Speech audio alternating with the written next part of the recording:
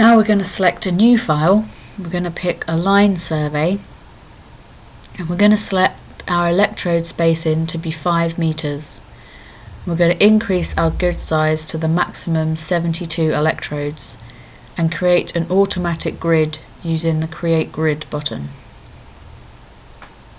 Then we're going to come across into the configuration tab. Here we're going to select our electrode array to be dipole-dipole and change the sequence name to reflect this. We're then going to concentrate just on measuring rho. We're going to set our Q max to 2 with our minimum stacks at 3 and our maximum stacks at 6.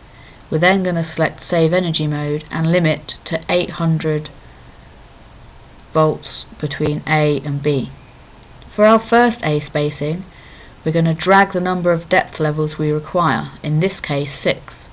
We're then going to widen our A spacing to 2 times A and select another 6 depth levels so that the last one overlaps with the same depth level from before. We are then going to increase our A spacing again and drag a further 6 depth levels.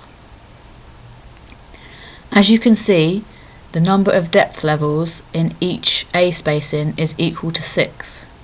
So we'll use 6 in our number of channels used to allow for optimization of the injection of the current from the Syscal. When we create our sequence, we can see that the quadrupoles and the injections give us a time of 51 minutes, but when optimized this reduces to 24 minutes. We then enter a name to save our sequence as, and we can go to view the graph. Here you can see the A spacing, the 2A spacing, and then the 3A spacing. You can also see the maximum depth level and this gives good coverage at 20 meters.